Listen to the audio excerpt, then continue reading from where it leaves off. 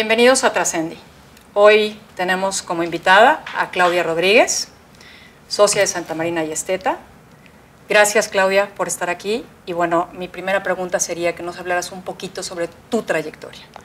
Bueno, gracias primero por el espacio, por la oportunidad de estar aquí, de mi trayectoria. Pues yo en el despacho llevo 15 años trabajando, llegué como pasante, entré como pasante de corporativo con el licenciado Vicente Grau.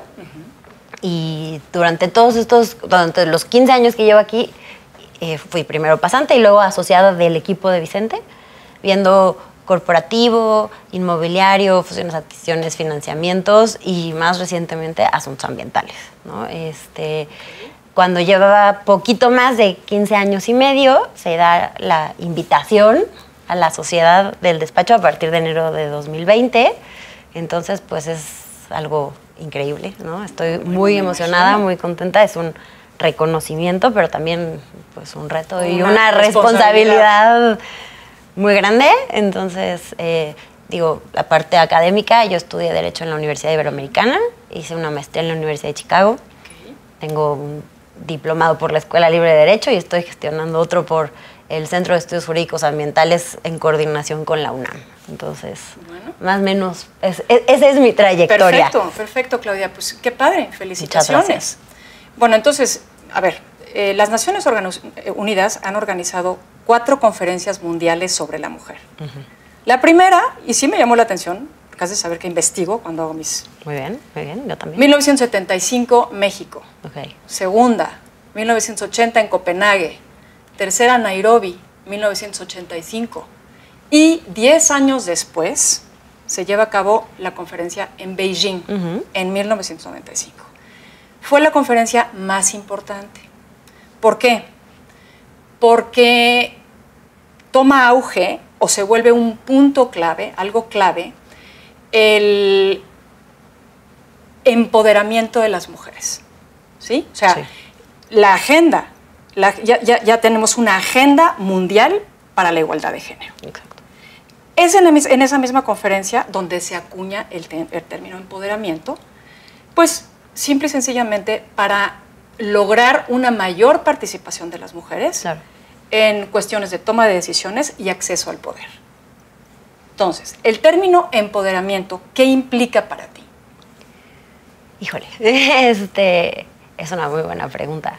Yo creo que el empoderamiento tiene muchas aristas. La principal para mí es, es, es un, está relacionado con el autoconcepto que tenemos. Es cuando tú te ves a ti misma y reconoces tu valor, tu fuerza, la capacidad que tienes y entonces puedes salir a buscar espacios, oportunidades, etc. Digo, en, mi, o sea, para mí el empoderamiento empieza idealmente en la familia, ¿no? O sea, una mujer que sabe que puede, que se siente capaz, que logra sus metas, es un reflejo de una crianza en la que tuvo acceso a oportunidades, respeto, o sea, en el que tuvo visibilidad, respeto, oportunidades y, que fue tratada de forma equitativa o igualitaria, ¿no? Con hombres y mujeres. También es cierto que hay muchas mujeres que se han empoderado a pesar de las circunstancias. y eso son ejemplos de resiliencia doblemente admirables. Las, las, tú sabes, este, este, este asunto de las feminidades y masculinidades son constructos meramente sociales. O sea, cambian con el tiempo, se van modificando. ¿Tú crees que se ha avanzado? O sea, te estoy hablando de la conferencia en 1995. Yo creo que tú eres muy joven. No pero te estoy hablando, de 1995 a la fecha. ¿Consideras que hemos avanzado? Sí. O sea, creo que falta mucho por hacer. Hay mucho trabajo por delante. Pero creo que el concepto de una mujer buena o una mujer exitosa en los últimos años se ha ido abriendo y entonces incluye distintos intereses, distintas prioridades, estilos de vida y eso permite que más mujeres accedan a un reconocimiento, ¿no? Porque antes a lo mejor era si tú querías ser una mujer buena, una mujer exitosa, tenías que casarte joven, tener hijos joven, que tus hijos sean súper exitosos y, y, se limitaba a tener tu casa impecable, ¿no? O sea, se limitaba mucho el concepto de lo que era una mujer exitosa. Claro. Y ahora hay pues, desde muchísimas Hay muchas perspectivas. formas, ¿no? Muchas formas Muchas de formas de ser Puede ser una mujer que le encanta viajar, una mujer que escribe, una mujer que se dedicó a su profesión, o la que eh, decidió ser esposa, mamá, Ama de casa. Sí, claro. O sea, como que justamente el concepto se ha abierto para incluir pues, distintos Exacto. intereses y estilos de vida. Exacto. Y Clau, en cuanto a la perspectiva de género, que es precisamente una herramienta para lograr que se modifiquen las relaciones sociales entre hombres y mujeres, ¿tú te ves como una mujer empoderada? Es, ay, es difícil decirlo. O sea, no sé si la palabra para describir a mí sea empoderada. Probablemente sí, ¿no? Pero al final creo que soy una mujer muy afortunada, que he tenido un entorno muy favorable, ¿no? Este, familiar, escolar, de trabajo, en el que siempre ha, o sea, ha sido un entorno muy igualitario, muy respetuoso, ¿no? Con muchas oportunidades Claro. que no todo el mundo tiene. Entonces, viéndolo así, pues sí, podremos decir que soy una mujer empoderada. ¿Sabes? ¿no? Me gusta, lo que me gusta de ti es que abres el concepto de empoderamiento a muchos ámbitos. No es nada más una mujer exitosa, no es nada más una mujer con poder, este, una mujer que toma las decisiones en una compañía. O sea, realmente yo también creo que, que el empoderamiento empieza desde casa. Claro, totalmente. Empieza desde Empieza casa. en la familia, ¿no? Tener un ejemplo de mujer fuerte, por ejemplo, ¿no? Claro. Cuando, y puede ser tu mamá, tu tía, tu abuelita, Exactamente. una maestra, pero creo que ahí es donde empieza ese, esa inspiración, Claro. ese... Entonces, de, de ahí paso a decir que el empoderamiento no es un proceso estático. No, desde luego que no. se mueve todo el tiempo. Es un proceso dinámico, además es multidimensional y colectivo. ¿Y qué implica? No nada más cambios personales, sino también institucionales y culturales. De acuerdo. Dime algo, Clau. eh, en tu trayectoria, ¿te has topado en- en el ejercicio de tu profesión con obstáculos? Ya me dijiste que ha sido un tanto suave, ¿no? Como que te ha ido bien. Sí, la verdad Pero es en que sí he algún momento de tu vida te to- topaste con la de alguna discriminación, con la discriminación. O sea, no, no han- nunca he tenido una situación grave, ¿no? Desde luego que no. Tengo la fortuna, como te decía, de haber llegado a una institución como esta, ¿no? Que es bastante progresista. Este, de- tener, bueno, haber tenido un jefe que siempre se enfocó más en el trabajo, o sea, en ver a los miembros de su equipo como personas y no tanto ¿Cómo enfocarse- creces? Exacto, en buscar, la, o sea, atender la necesidad de cada quien Claro. para que podamos crecer. Este, y eh, te digo, nunca una situación grave, sí, obviamente alguna que otra situación incómoda, Sí. y no necesariamente, tal vez por género, tal vez por edad, tal vez por rango, ¿no? Cuando estás en una negociación con una contraparte y como que te quieren ignorar, sí, o sea, como que no, no escuchan tus comentarios o no quieren tomarlos en cuenta. Pero bueno, al final soy abogada, mi trabajo Claro, es que me claro, escuchen, claro. es hacer que me escuchen. Entonces, pues, de una u otra manera lo tienes que lograr. Entonces, Clau, hasta cierto punto ya me dijiste, pero, pero desde tu punto de vista, ¿qué empodera a una mujer? Bueno, definitivamente yo creo que idealmente empezar por la familia, ¿no? Este, los ejemplos, Sí. pero yo creo que hay veces que cuando uno no, no ve su propio valor, su propia capacidad, su fortaleza, hay veces que lo único que necesitas es alguien que te vea y que crea en ti. ¿no? Este, y, y puede ser de muchas formas, ¿no? Eh, Ahora está muy de moda, afortunadamente, las plataformas o la- los programas de emprendimiento o asociaciones, foros, etcétera. Pero creo que hay veces que simplemente necesitas a alguien que te vea, que te escuche, que crea en ti, a veces cuando tú no crees en ti y que te abra los ojos, Sí. ¿no? Y, y eso a veces hace toda la diferencia. Quizá mi siguiente pregunta ya me la contestaste, Clau, ya me la contestaste. Tiene que ver ahora sí con tu sociedad con Santa Marina y Esteta. Por lo que me has dicho, no has tenido que pasar por un camino difícil ni allanar el camino para estar en el punto que estás. ¿Es así? Sí, o sea, no, yo no te diría que ha sido difícil, porque es, es- es una carrera que me gusta, que disfruto, ¿no? El- el- lo, lo hago en un lugar que me encanta, con gente valiosísima, súper capaz, entonces al final para mí es un privilegio poder ejercer aquí. Este, no ha sido difícil, pero al final sí es el resultado de 15 años de esfuerzo, de trabajo, de dedicación, ¿no? de preparación. Pero no te diría que ha sido más difícil para mí de lo que ha sido para otros socios. ¿no? Al final creo que ha sido un camino muy equitativo. Tranquilo. Muy tranquilo, muy bueno. Y, y, bueno, tú tienes 15 años de los más de 70 que tiene, a ver, ahora les dicen firmas. Sí. Antes eran despachos. Exacto. Entonces, de los más de 70 que tiene la firma en, en todas las cuestiones legales. Sí. Una de las cosas que leí es que están absolutamente en pro del movimiento y cambio continuos. Sí. Veo que lo has experimentado. Ahora, en ese movimiento y cambio continuos, ¿podemos hablar de que los hombres y las mujeres comparten un mismo nivel? O sea, sí, depende en, o sea, en, distintos rangos, pero desde luego que sí. O sea, somos un despacho que antes de mí tuvo ya dos socias mujeres. este, además tenemos todo el, tema de talento, ¿no? Es, un tema prioritario para nosotros. Nosotros prestamos servicios, entonces al final nuestra gente es lo más valioso que tenemos. Y, y, por eso mismo, pues, desde siempre y cada vez más buscamos mecanismos para cuidar a nuestro talento. no, o sea, no solo el talento femenino, en general a todo el talento. ¿no? Tenemos un comité de talento, un área de administración y de capital humano que justamente están enfocadas en eso.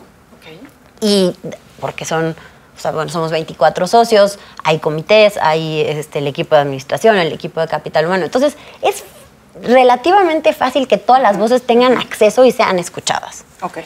Entonces, eh, bueno, además, bueno, está, estoy yo, ¿no? Tenemos una general manager que es mujer, nuestra directora de desarrollo de negocios también es mujer, y tenemos a muchas mujeres como cabezas de área o cabezas de equipo, liderando eh, personal masculino y femenino muchas mujeres trabajando con nosotros. Creo que tenemos bastante equilibrados los números. Sí, pero aquí por capacidad, ¿no? No es esto de cuota de género. Y no, no, no, no. Evidentemente. No, no, no. La verdad es que tenemos pues, abogados y abogadas valiosísimos, súper talentosos y pues la idea es obviamente pues, que cada vez haya más mujeres en puestos de liderazgo. Claro. Pero, pero creo que vamos okay, bien. Perfecto. Hay mucho por hacer, hay mucho por hacer, siempre se puede mejorar, pero vamos bien.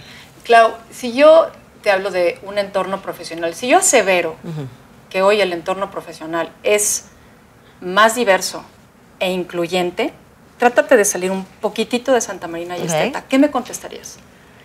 Te contestaría que sí es más diverso e incluyente, todavía no lo suficiente, ¿no? O sea, creo que o sea, son años de conferencias, de trabajo de lucha de mujeres, de organizaciones, de gobiernos, ¿no? políticas públicas, iniciativas privadas. Y sí se ha avanzado.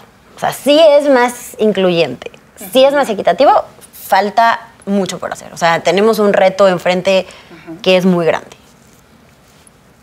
Pero, pero, nos estamos acercando. ¿no? ahora, también la equidad, la, igualdad se han vuelto buenas prácticas de negocio. Entonces, eso hace que el mismo entorno de negocios te lo pida, te lo exija. Y eso al final, la motivación si no es intrínseca, se vuelve extrínseca, pero te, te obliga a, adoptar esa buena práctica. Ok, Clau, entonces también mi siguiente pregunta, cuando te hablo de específicamente en México, ¿sí crees entonces que la participación de las mujeres en puestos de liderazgo ha aumentado. Sí, ha aumentado, falta mucho. Bueno, a ver, tú tienes un puesto de liderazgo. Sí. Empezando la entrevista me dijiste que te sientes muy bien. Y lo vuelvo a preguntar, ¿cómo te sientes siendo tú en este momento? O sea, sí, me siento muy bien. Obviamente estoy consciente del reto y la responsabilidad que tengo, pero justamente también es una oportunidad. O sea, es una oportunidad para aportar, para hacer algo para mejorar la situación, ¿no? Para, para las mujeres y para las nuevas generaciones en general. O sea, no necesariamente solo mujeres, ¿no? O sea, ok, gracias, Clau. Sin concentrarte en Santa Marina, y que ya sé que estás aquí hace 15 años, ¿cuál consideras que ha sido tu mayor reto y cuál tu mayor éxito? Pues mi mayor reto creo que ha sido conmigo misma.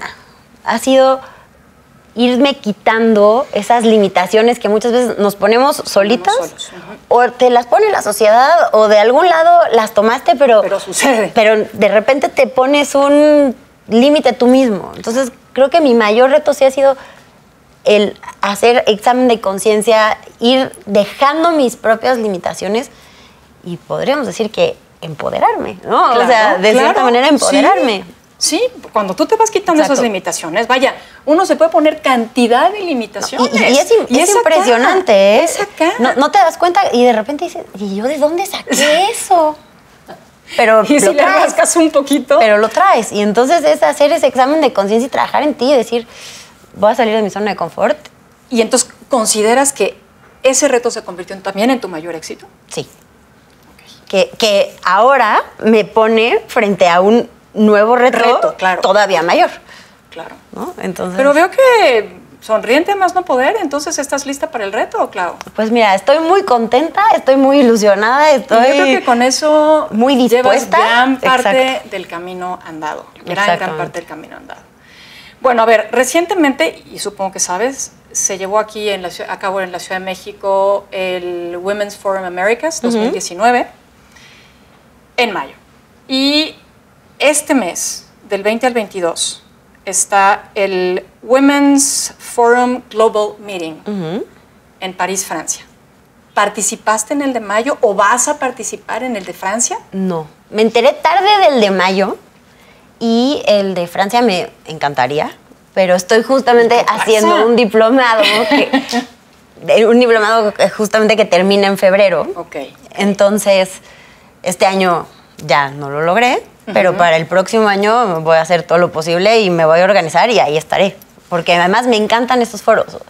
se me hace que son lugares maravillosos y, no solo, o sea, sino que crean las condiciones para que las mujeres nos conozcamos, nos apoyemos, nos empoderemos unas a otras, hagamos networking y al final para que trabajemos juntas, porque definitivamente juntas somos más fuertes, o sea, somos el 50% de la población, más o menos. Poquito más, poquito más. O sea, sí eh, consideras que estos espacios son clave. Sí.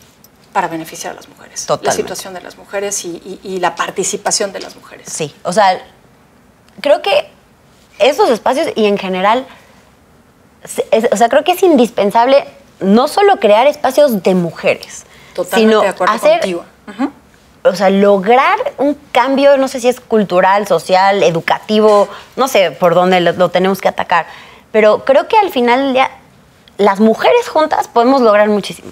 Pero las mujeres trabajando con los hombres es como vamos a lograr el cambio. Exacto, porque tampoco se trata de este grupo se va para acá y este se va para allá. Porque además, normalmente, ¿no? Una mujer que llega a una posición de liderazgo tuvo muchos ejemplos, mucha ayuda femenina, pero también seguramente tuvo un mentor o un jefe que creyó en ella.